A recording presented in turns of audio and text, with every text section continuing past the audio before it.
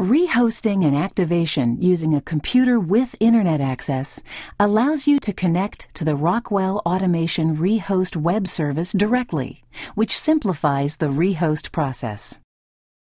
Rehosting activations associates an activation file with a different host ID. This allows you to permanently move an activation to a different computer. Important. Because rehosting an activation deletes the activation file, the rehosting process must be performed from the physical computer where the activation file resides. Rehosting is intended to be used only for infrequent or unexpected events, such as a computer upgrade or failure, or a change to the system. Important. Rehosting is not intended for moving activations frequently. As a result, for each serial number, rehosting is limited to three times per 12 months. If you need to move activations frequently, use a FactoryTalk activation dongle. To rehost an activation from a computer with Internet access, from the computer that is hosting activations, open FactoryTalk Activation Manager. Click the Manage Activations tab.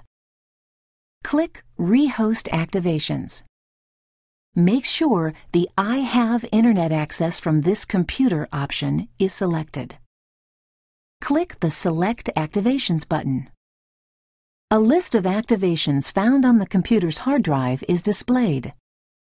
Select the activations you want to rehost. You can select one or more activations to rehost. To select all of the activations, click the checkbox next to the Product column click the Complete Rehosting button. In the Confirm Activation Removal dialog box, make sure the activation listed is the one you want to rehost. Important. Clicking Remove Activations will delete the listed activation file from your local activation folder.